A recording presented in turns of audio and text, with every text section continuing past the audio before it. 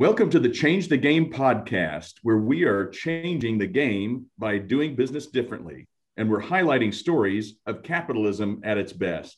I'm Steve Baker, and with me is Rich Armstrong, president of the Great Game of Business and co author of our new book, Get in the Game How to Create Rapid Financial Results and Lasting Cultural Change. Hello, Rich. Hello, Steve. How are you? Well, I'm exceptional today because we have a very special guest. And frankly, if I was any better, I'd be twins. Today, we've got Vice President of Coaching at the Great Game of Business, Mr. Darin Bridges, or as we call him in the hallways around here, Mr. Michelle Bridges. Uh, Darin has an MBA from Drury University, and he's actually taught operations and marketing at both Drury University and Missouri State University. He's been an entrepreneur, an executive, a professor, a longtime veteran of SRC. And prior to joining us at Great Game, Darin spent 10 years as vice president of business development at SRC Heavy Duty, the original living lab of the SRC family, and helped to grow it from 25 million dollars in sales to 114 million dollars in sales. So Darin, welcome and thanks for joining us. Can you tell us a little bit more about your background? Uh, sure. Thanks, Steve. Thanks, Rich. Um, you know, it, it's my my involvement with Great Game is interesting. I was a pre med student at Drury, which is a local university, and I got basically uh, shamed into going listen to some business guy speak uh, one night, and I did not want to go. Stood in the back of the uh, the room with my arms crossed, rolling my eyes, couldn't wait to get out of there. And by the time this gentleman finished, I had changed my major into business. Um, I grew up on doing uh, delivery, milk deliveries on a milk truck with my father. And I used to hear him talk about the business and management and them and seeing what he was going through. And I thought, man, there is no way I'm going to be spending my life doing what he does. But Jack Stack was a speaker that day or that evening and he came in with a written speech and i remember he tore it in half and just started talking to us about how business can be done differently. And this is back in the early days back in uh, the late 80s when i got to hear him. And he uh, you know he talked about how you can treat employees and how they can be uh, treated with an owner mentality and how you can share with them and how you can value them and respect what they uh, their knowledge and quite frankly changed everything for me. So that's awesome from pre med to business.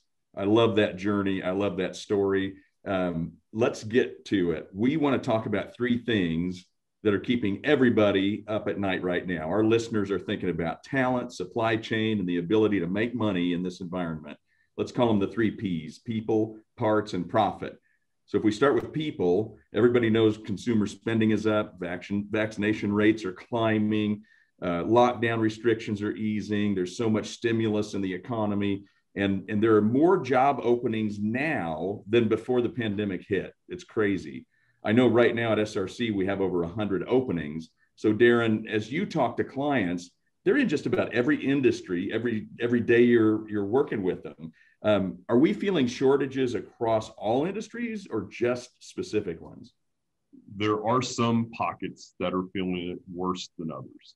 Skilled labor specifically seems to be a big issue, and um, they are uh, they it is preventing them from growing. It's preventing them from filling uh, uh, orders, and some cl- companies have backlogs that uh, go out, you know, throughout the whole year because they just simply can't get the people to produce what they need.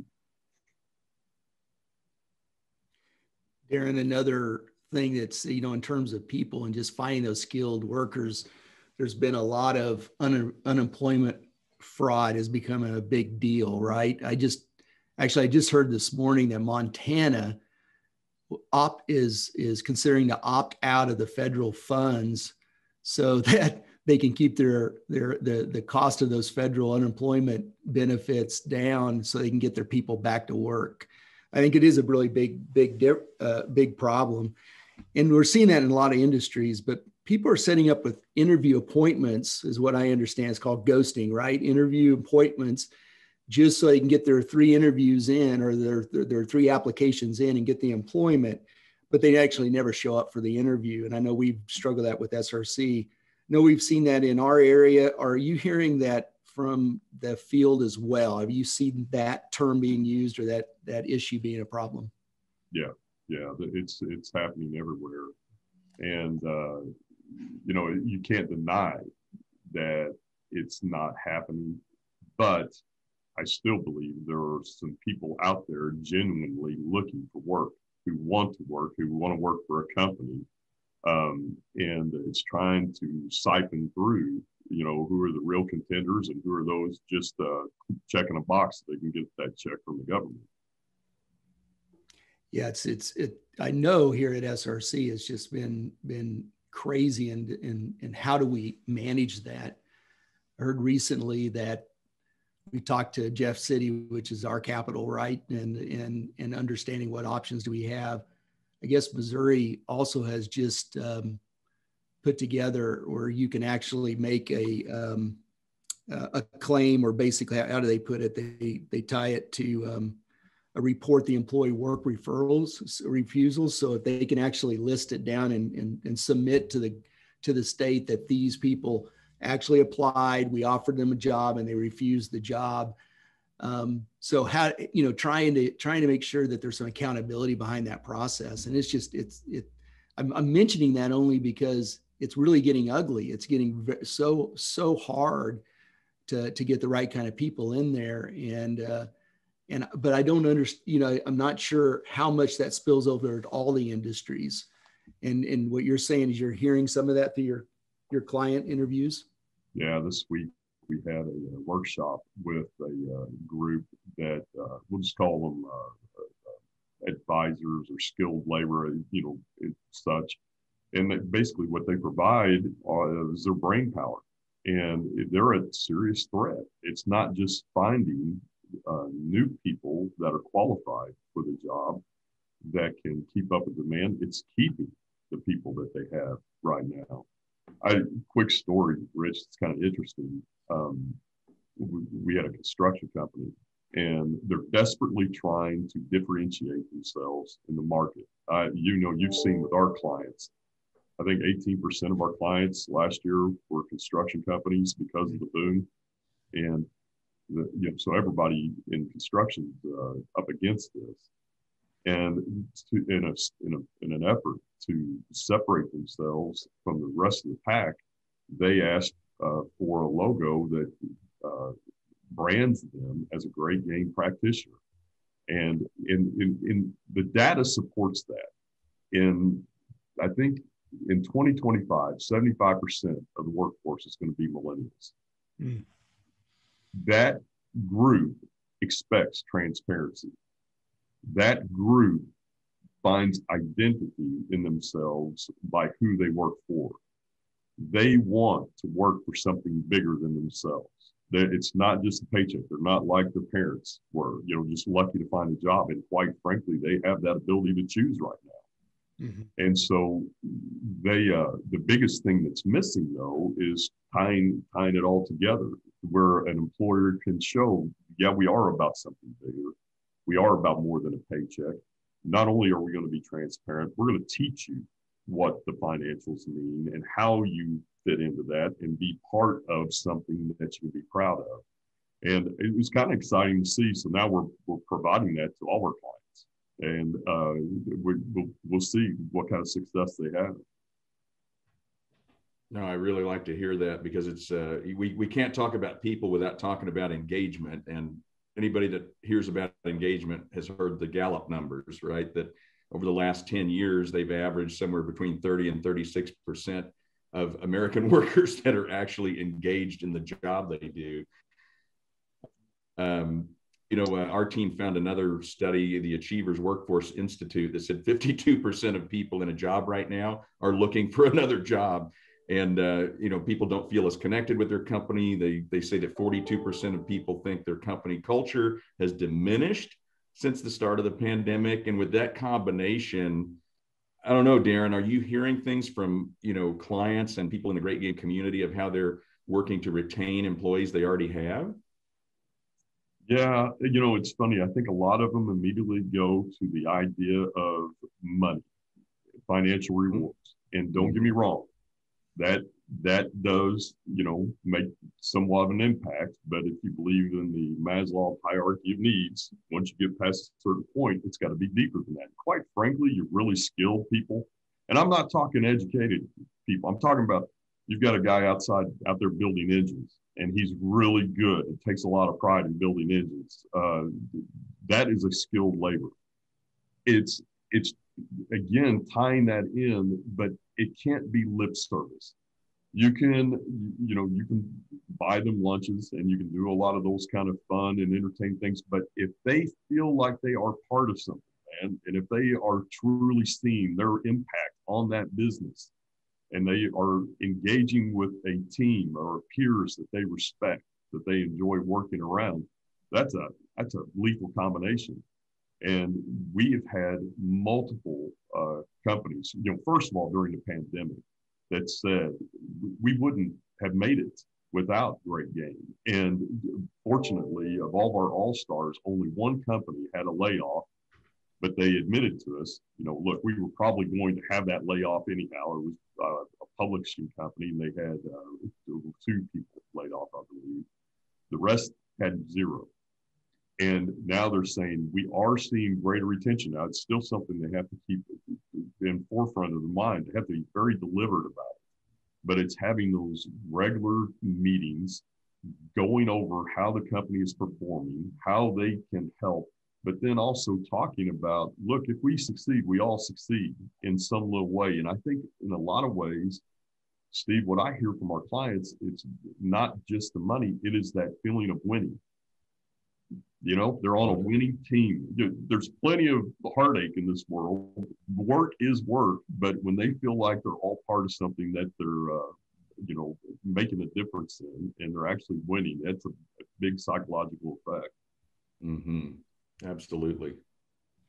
Yeah, you know, and Darin, just to you know echo what you're talking about in terms of having people enjoy the people that are around them, the work environments that's around them. I think it was just the other night you and I were talking to a, you know, an employer employee that's within SRC, and every question we would ask him about why he was considering to leave came back to I want to enjoy the people that I'm around, and that and there's a challenge and the, and the reason i want to set this up is that there was a challenge of that when you're trying to add people right and you're taking anybody you can get in your organization to help you manage you know the current demand that you have sometimes you're bringing in people that don't necessarily fit your culture and it's hard to balance that and it's just a shame and and how do you how do you make you know maintain that um, and there's no secret. And, and, and, this is the question I kind of have for you, Darin, is what you're seeing around with, with clients um, is that there's, you know, there's no secret that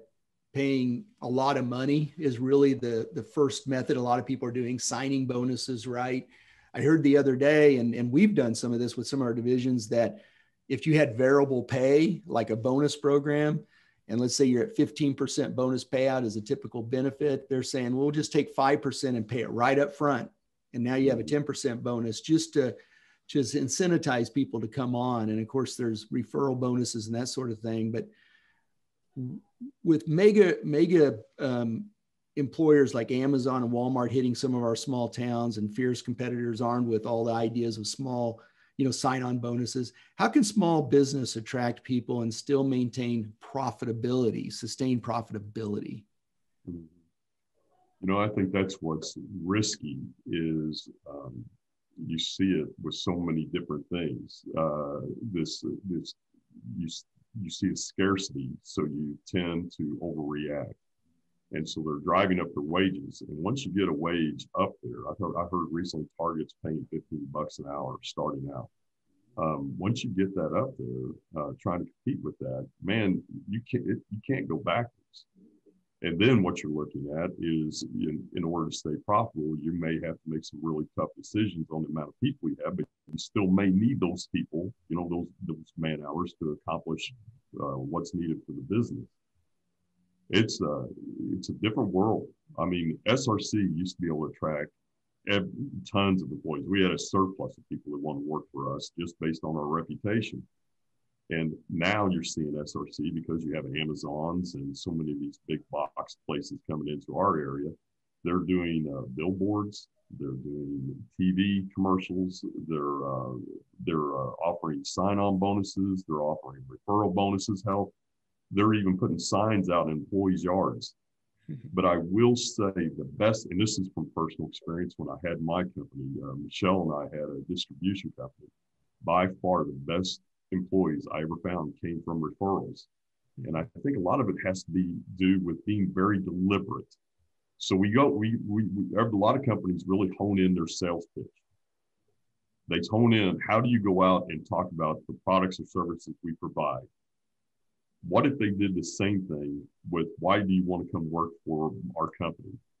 What if they hone that in and help their employees be able to spread that word?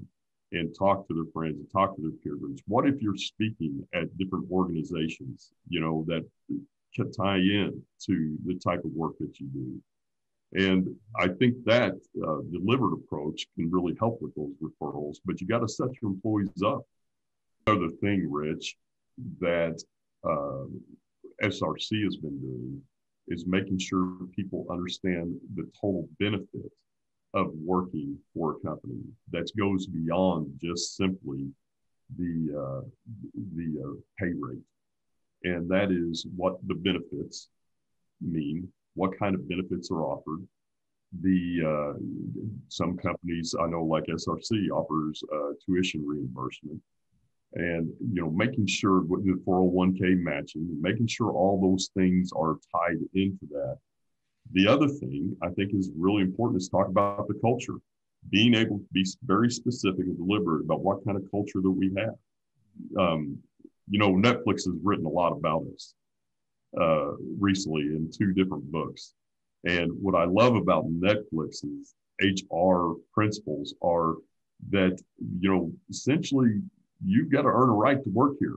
You may get hired, but we don't just keep everyone. It's based on who you are. There's a certain amount of pride that comes into that. I know it sounds almost counterintuitive that you would challenge your employees when you're trying to keep, you know, keep uh, retention high, but there's a certain amount of pride in that. That I'm part of the winning team, and being very blunt about the type of culture you have. Now, small businesses, you know, that like I had, we really played upon the fact that yeah, we're a small company but there's benefits in that. If you're a young person coming up in business, what better way to learn all the aspects of the business versus being pigeonholed inside one department and be and the type of exposure they can get. You just got to play to your strengths. But I do think there's something valuable of, as a business owner or maybe getting your team is simply asking a question: Why do you work here? Why do you stay? Why? Why? Love how that. do out promote ourselves? that is awesome because sometimes you forget about it when you're working at an SRC company or a great game company. You do, you are challenged to be out of your comfort zone and to grow and become better. And I remember uh, when Rich was interviewing me years ago, um, I went to a friend of mine who was a business owner and, and they knew Jack. And I said, Hey, um, what do you think of SRC? You know, uh, I'm, th- I'm looking at maybe working over there. And they said, Well, Steve, I don't know if you'd like it. It's a performance environment. like maybe I wasn't cut out for it. so they, I must have slipped through the cracks. I don't know. How did, how did that affect you though? Did that challenge you? Or oh yeah. I, what do you mean? Of course I could do this, but it also scared the shit out of me. Isn't that cool? And then think about the alternative. If you would have said, "Well, I don't want to be held accountable," that's not the kind of employee you want. You exactly. know, I, I love that. Uh, that's a great story. Is it, it makes true? you it makes you so much more competitive in the marketplace because you're, you know, as Jack says, whoever has the dominant or the the the best workforce, the smartest, most engaged workforce will be the dominant company in the next 10 years. So that's very cool. I'm glad you brought it up. You know, I'll tell you one other thing that I've found with some of our clients that's attracting employees. We do high involvement planning. And that's all about painting that vision. Where you guys, where you want to go as a company, what do you want to accomplish, and how are you going to get there? Think about having that conversation with someone who may be interested in your company. versus just okay here's what your pay rate here's the hours here's a break room you know and here's the job responsibilities think about that for a second what if you talk here's our vision here's where we're going here's how we've been performing and here's what we're going to do to get there and here's the number of opportunities in front of us that's a whole different conversation man. Mhm. Is it true i heard a rumor that is it true that you were found by our president to come work at Great Game by beating out a 12 year old girl in a trivia game? Yes, I knew all the words to the uh, SpongeBob theme song, and I think Rich was very impressed by that.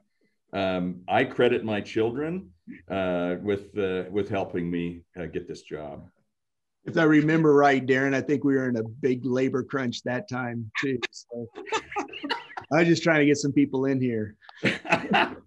yeah, when I first met Rich, he said, "You know what my interview process is," and then he took my pulse. I just want to know did you gloat? Did you do a victory dance when you built, built beat out oh, I, that I first crushed her. I crushed her. it was merciless. But But if you can't sing SpongeBob right, don't sing it. I knew he had a competitive drive in him, Darin, after I saw that. It didn't matter who was in front of him. Ruthless. Bowl them over. I All think right. we got off subject, didn't we? That's good though. This is why people listen to this podcast. So we talked about people. Let's let's shift gears and go to uh, another one of the P's. Let's talk about parts or supply chain. Uh, Darin, you're an expert in manufacturing, and you know the importance of a healthy supply chain. Right now, raw material, parts, shortages, it's all having a really big impact on trying to keep up with orders. Um, is there a hidden danger in the current state of supply chain? You know, like we've we've heard this idea of uh, uh, a false economy from Jack. Could you talk a little bit about that? Um, you know, what what is the the lurking uh, thing in the darkness that's going to get us? And I hate that word expert, but I am so passionate about manufacturing operations. So if I geek out a little bit, forgive me. There's a term that we used to use in purchasing called the whiplash effect. So you go, you have a stock out. Let's say when we were in distribution, or had our distribution company, you have a stock out. So you tend to not just buy based upon what you need or based upon what demand you've missed through back orders. You tend to overbuy and you tend to get very emotional about your purchasing practices. Then, when there's scarcity and you hear all this news, you tend to increase it that much more. And there is a real danger in this that, you know, there's this, there is definitely a, a tremendous growth in consumer buying. And money, cash is flowing free, and people are getting excited, and you know, vaccines are hitting people getting out, and so there is this this definite increase um, but you've got to keep your eyes on you know and and so from a purchasing standpoint talking to some of my friends who are still over at the src divisions they're working with their suppliers directly. They're placing uh, orders with the understanding we may push out due dates but we're not going to cancel our orders to allow some flexibility but to tie up to help them tie up their uh, th- their their production, so they know you know this is legit. I know that when I was I worked for a large corporation, a Fortune 500 corporation, and we used to supply Winchester and Remington, all their shotgun shell wads. And the key to our success, we didn't have it in the beginning, was gaining their trust to share with us their back then we called them MRP reports, what they were producing, but that relationship was key. That data was key. How can you work with your suppliers? How can you work with your customers to have that data so that you, you're seen? At SRC uh, division I was with, we hired a lady full time, and, and it sounded crazy, but all she did was continually look at our OEMs. Um, we call them depots, distribution centers, and by part number, looked at what their stock on hand was, by part number, knew from the OEM what their, their safety stock level should be, match our open orders against that, and then be able to predict their demand. That's all she really did. But that information was valuable for leveling out our production and scheduling because, quite frankly, remanufacturing is very manual intensive. and there's not a lot of automation. So trying to level out those schedules because the biggest, the other issue with this is you can end up running a tremendous amount of overtime. And although employees like it in the beginning, it, it, it they start to fatigue. But that relationship, man, if we have some SRC companies that are doing mini games, we have multiple SRC companies that are doing mini games right now with their customers in order to do like product launches with the customers. So the mini game, not only does the SRC people get rewarded, so do the, the customers people get rewarded based on product launches, based on on-time deliveries. They're even working with suppliers. In fact, we have one division that's giving away a car for a mini game. And it's a it was a customer who's given it, but they realized that if we can get this amount of engines at this amount of time, the price of that car, which they're in the automotive industry, so it's not nearly as the expense as going out and buying one. It's a 97 Yugo, right? I doubt that. I hope not. But it's a fraction. It's a fraction of it. But it makes a big statement, man. Think about, it. you know, if you're an employee and you have a chance to win a car like that. That's awesome. I, I my takeaway from that is uh, I, I heard you talk a lot about the relationship. Oh with your suppliers. And then the other part was you took it on proactively to actually they the supplier isn't uh, and the customer. So you're looking at both sides. You're saying uh, I am going to predict your need even better than you can for us. That's pretty powerful. It uh, the other thing, Steve, is it totally. We talked a little bit about changing the conversation getting beyond just a service conversation, it totally changes the conversation that the companies are having with each other. Mm-hmm. They are talking about forward forecasting. They are talking about deeper issues than just, hey, I'm out of parts. You know, how come you guys can't ship me on time? They're talking about the problems and how to solve those problems together versus just taking an ass beating, you know, for, for not hitting the shipment on time.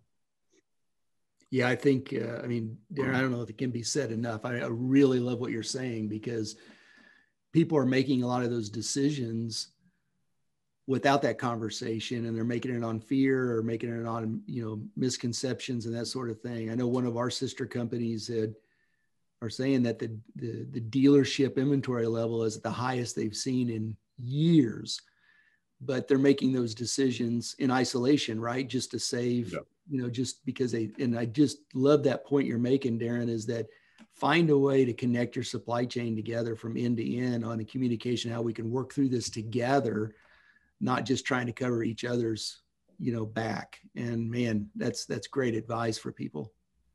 I know I'm harping on high involvement planning, but when I was at SRC, you know, we did it twice a year, every year. It's a big deal for us and we're always looking at the market indicators uh, and the economic forecast and we're reaching out and talking to our customers to understand what the market's saying but if you think about that that uh, that supply chain and where you're at in that the closer you can get to the customer the better and so for instance with src we sell to oems but the more we could talk to the fleets, to the dealerships, to the people on the front lines, the better we were at predicting what was really going to happen. And I, you know, I, I attribute that to the high involvement planning process. That it was not something that came naturally for us, mm-hmm. but it, it does make a tremendous impact. And then you can share a lot of that information with those people in the middle that may not even be as knowledgeable. And also now you're resource to them you know you're, you're coming in with information that they can do their job better yeah absolutely absolutely let's shift gears just a little bit further darin um, we just held our semi-annual coaching summit uh, last week and part of that summit your agenda focused on referral programs and one of our great game coaches dave sculton who uh, has a knack for referrals, had shared uh, uh, and really facilitated the whole group on what running effective referral programs. What were some of the key takeaways that you came from that conversation? You you saw from that conversation, Darin, and maybe how business leaders and other industries and things like that could utilize some of these ideas. You bet. You know, I think the it's I'm going to sound kind of like a broken record. And I swear this wasn't intended, but what Dave's process is uh, a lot of coaches that go in, they help out, and they may have some type of relationship, you know, usually a close relationship with the CEO. Dave takes it a step further. He's extremely deliberate. He talks to that CEO or that president every week, even if it's for 10, 15 minutes, just to give him an update. And he says what happens is usually they keep him on the phone for quite a bit longer and they get to know each other personally.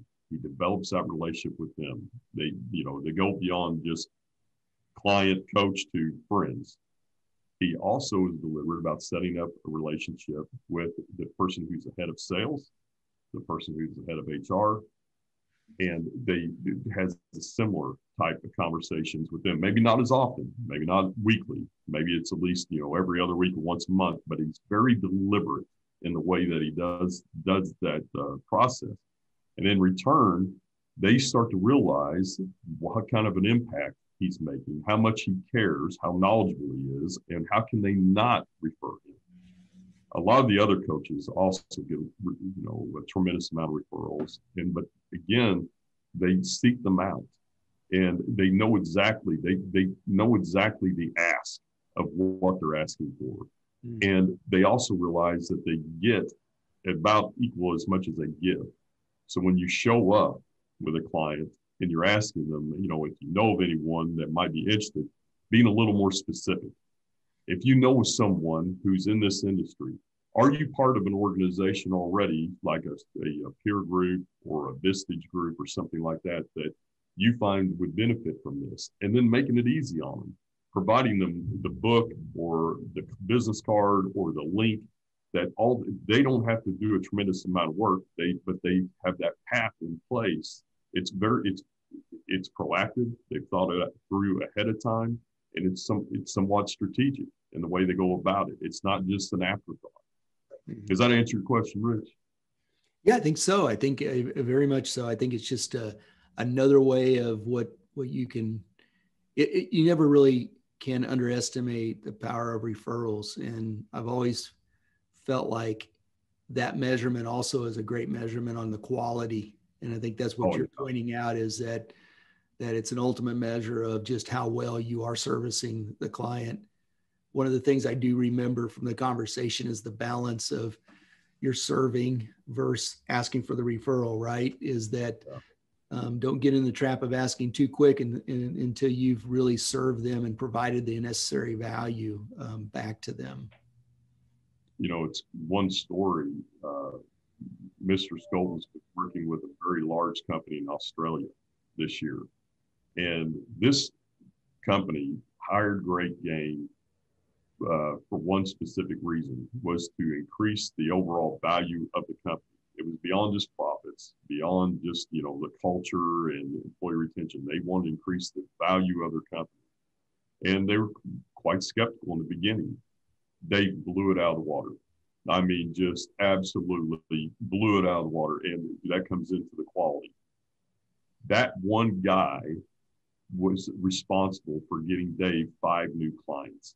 One guy, but that's that is the price of pearl. And don't get me wrong, you can go out and you can do all the marketing, you can do all those kind of things to bring in new clients. But when you've got a trusted advisor telling you, hey, there's this guy named Dave Skolden. He's a coach for the great game business. You need to talk to him. He made a tremendous impact on my business. Here's how you can reach him. That that's you know that that bypasses a lot of that grunt work that you have to do on the front end. Yeah, it's golden it is referrals are amazing. So that's that's one strategy to uh, uh, if we're talking about profits you know how am i going to drive profitability? Well i don't think you can do better than a referral uh, for good business. Um, do you think let's go to pricing. Do you think that business owners should be raising prices right now? Hell yes. But how do you really feel? Absolutely and, you know, we always had kind of a saying at SRC when the economy goes down, it's not the time to be asking for price increases. You got to do it while the economy is going up. Everybody knows costs are going up. This is where it comes the the whole idea of engaging your employees in the business, in the finances, and taking ownership of what they do is so important because costs are creeping up everywhere. There's surcharges. I mean, you we've heard the horror stories about the price of lumber.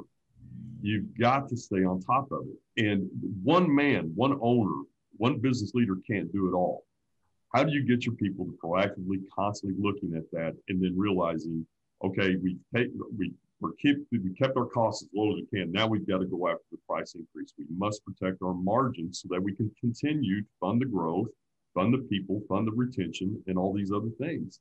And that I truly believe is one of the biggest benefits that we're seeing right now with a lot of our clients is that they have that insight, they have that view of what's going on with their costs and what's going on with uh, where prices need to be increased. And again, I know it's a difficult conversation, but think about it. If you develop that type of relationship with your clients and you can give them a logical explanation, you that again, it's it's that conversation of going deeper. Here's what we're dealing with. Most business people are going to understand that. And then working with them on the timing. That that's the key. Just nobody likes surprises. You, and that's where that forward forecasting, forward thinking comes in. Don't surprise it. Give them some lead time so they can expect it and get it passed through their price increases as well. But it it's interesting. I know, you know, last year at our conference, uh, we had a gentleman that came on and we talked about inflation. And at that time, we hadn't seen inflation in, you know, 20 plus years. It is, it, you're hearing a lot more talk about inflation right now, and you've got to stay on top of it. Darin, we always like to wrap up these episodes by asking this question so, what question should we be asking you? What have we missed? Oh, you know, Rich, I, so I gave at the beginning the story about how I got acquainted with Jack Stack, great game, changed my career. I worked around, you know, I'm from Springfield, Missouri. I was around great game, it seemed like all the time, not directly, but with companies or, you know, hearing about what was going on. We had our company, and I tried to implement Great Game on my own and created the greatest entitlement program you've ever seen. I valued my people and I was paying them uh, some type of a gain share each quarter, but I was not open, transparent with our financials because, quite frankly, I was heavily leveraged. It was a startup company. I was not teaching them how we made money because I just wanted to sell and ship every day. I didn't want to tie up their time learning how we made money. And so, you know, they were getting checks from me, but they didn't know how. They didn't know why. They were just getting money, and it basically became an entitlement program. Then, you know, I was at SRC and I definitely saw the benefit of the game, but it wasn't until I came over here and then I see our our practitioners, the clients that we have. It's it's and I mean this in all sincerity. So I've been, you know, a great game just over a little, little over a year. It's incredible to me the impact it makes, and I'm, I'm not trying to tell any of the listeners, they're probably all know this already, but that value of educating, empowering, and engaging your employees, it it is it is a differentiator for you as a company that you can market and become a workplace of choice. Put that great game practitioner logo out there and let people know the value of working for your company. And I feel, you know, somewhat uh, guilty of talking a lot about SRC. It doesn't have to be a big company to get that kind of benefit. We have a, a landscaping company that we work with, and you know, we talk about building those relationships and such. And they they proudly let everybody know the guys that are taking care of your lawn have the ownership mentality. They may not have the equity, but they have that ownership. They take, they have a piece, they have a, a, a stake in this company. It's not just a paid job for them. That's you know that's a differentiator among all the other landscapers out there. So I think if, if I was going to summarize, wrap it up, that that educate, empower, and engage, man, it, it, it is a defining factor. And sometimes it seems like, especially when you're in the heat of battle, it's it's hard to do, but if you can set up that deliberate process, it will make a difference. I think that's a tremendous example, Darin, because I, I just think about no matter what it is, if the guy changing my oil or setting my landscaping or anything um, knows the, how the business runs, I'm just going to feel like they're just going to do the job a little bit better. You know, that's awesome. Like I'm working with the owner. Mm-hmm. Well, Darin, it's a pleasure to have you on the podcast. I know you really should be working with the coaches right now, but thank you for being lax in your duties enough to be a part of our little show here. And thanks so much for your insights. You're awesome. Well, let's keep the conversation going. Send us your questions, your stories, your best practices, ideas, challenges, and victories. That is capitalism at its best. Thanks for joining us, and we'll see you next time.